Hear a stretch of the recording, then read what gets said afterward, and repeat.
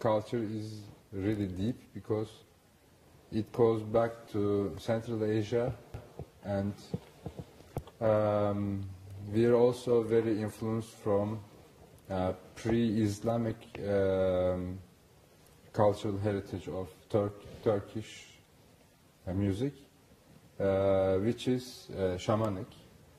And you can um, find the traces of this uh, shamanic culture, especially in um, folk uh, culture.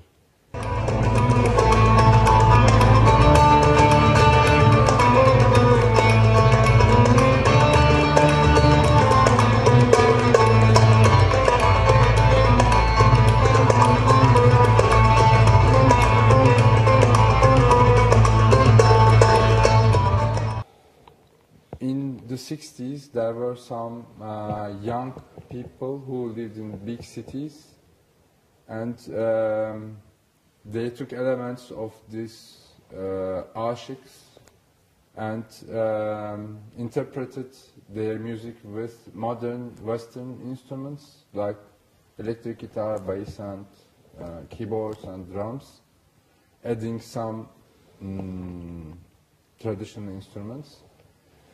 And this psychedelic movement was very successful in Turkey, and they were the pop stars of that era. Uh,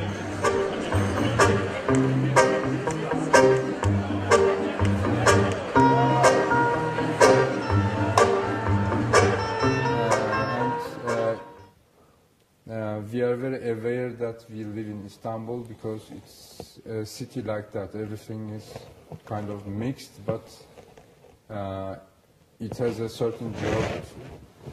Istanbul uh, is geographically standing in the middle of Asia and uh, Europe, and that gives us a clue. And uh, it's also uh, the place where the Silk Road and the Spice Road ended.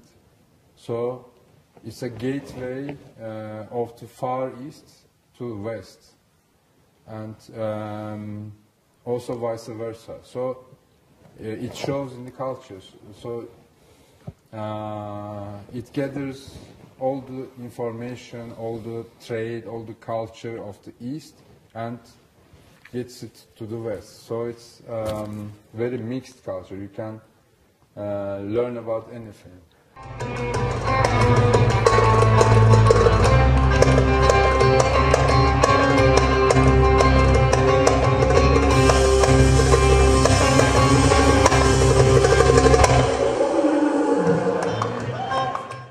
Are using the Turkish rhythms, you know.